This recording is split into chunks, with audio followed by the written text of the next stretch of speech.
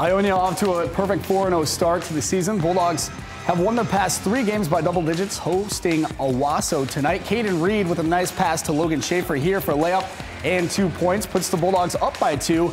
And later it's Reed with another assist, this time to Nick Samansky for a contested bucket, putting the Bulldogs up four at the half.